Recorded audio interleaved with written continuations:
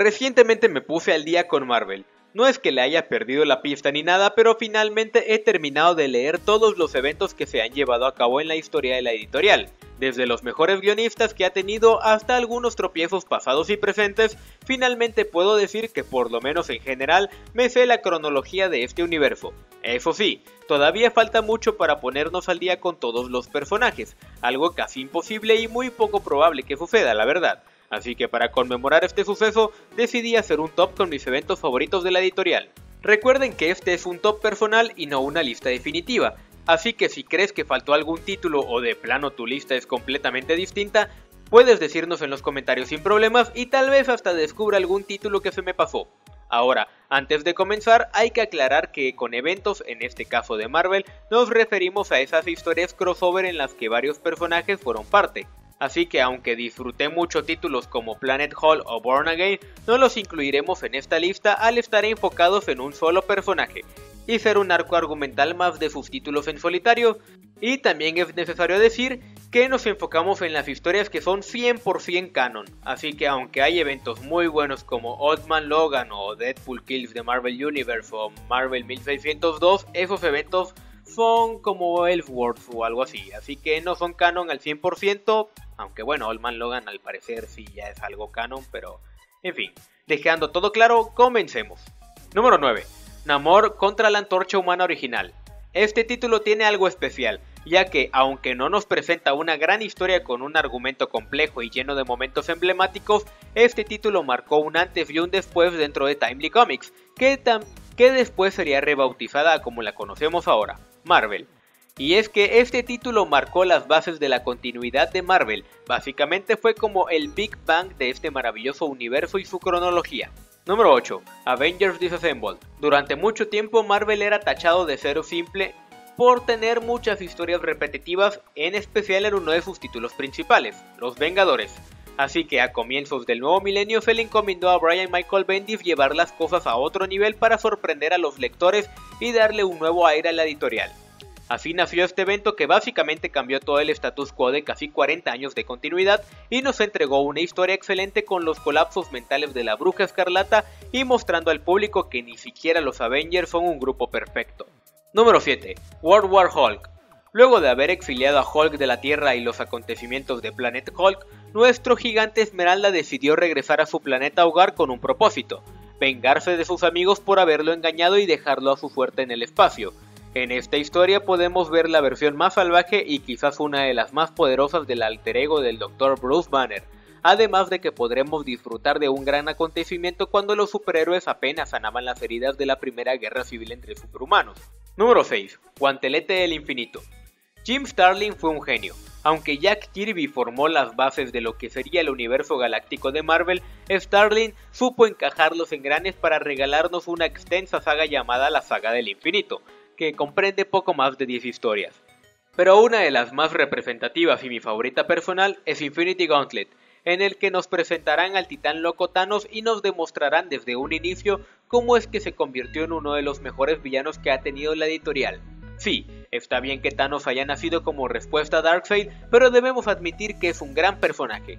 A pesar de que el titán loco ya ha protagonizado muchas historias, esta junto con Thanos Quest que debe leerse obligatoriamente antes de este arco, es mi favorita personal. Número 5. House of M. ¿Recuerdan que les dije que la bruja escarlata había perdido la razón durante los acontecimientos de Avengers Disassembled?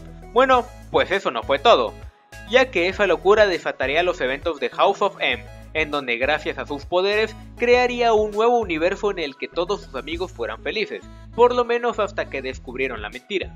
Llena de acción y dejando secuelas en el equipo mutante que tardarían en sanar casi una década después, este evento definitivamente es genial para los amantes del universo Marvel y de los What Por cierto, esto me está dando la idea para otro video.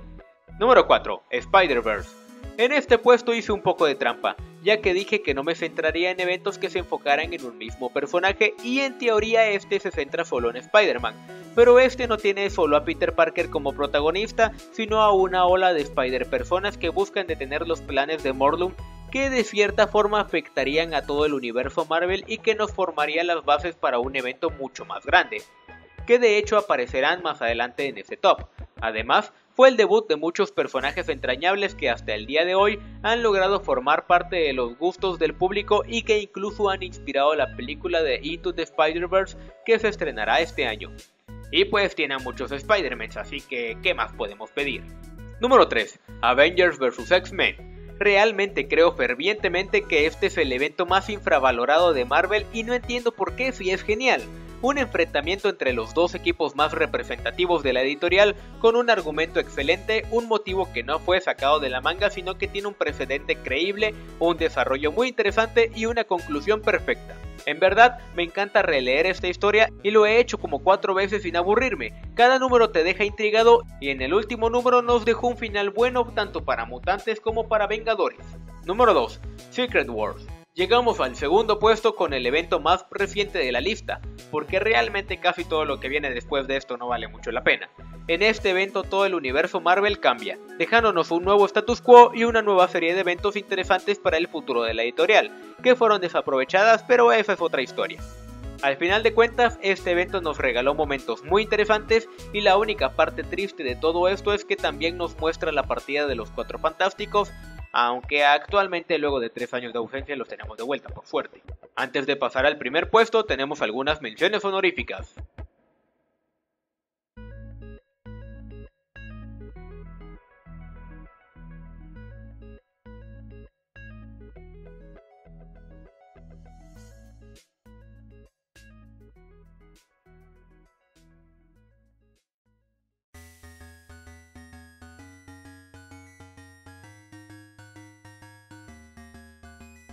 Número 1. Civil War. Y finalmente, tenemos la que para mí es la mejor historia de Marvel Comics.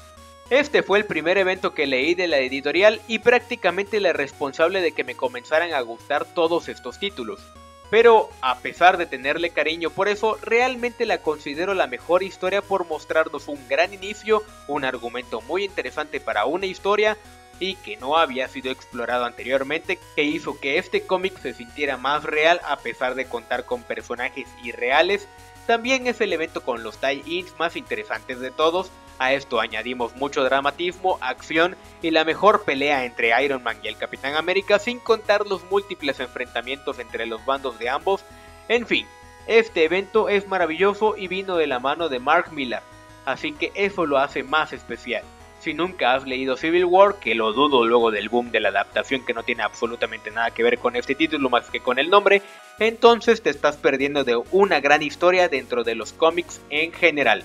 Y bien, eso fue todo por ahora. Recuerda suscribirte al canal si aún no lo has hecho y regálanos un like si el video te gustó. Comparte este video con tus amigos frikis y dinos en los comentarios de qué otro top te gustaría que habláramos. ¿Qué otro top te gustaría que hiciéramos? Síguenos en nuestras redes sociales para seguir en contacto. Yo soy Valder, nos vemos del otro lado de la biblioteca Marvel.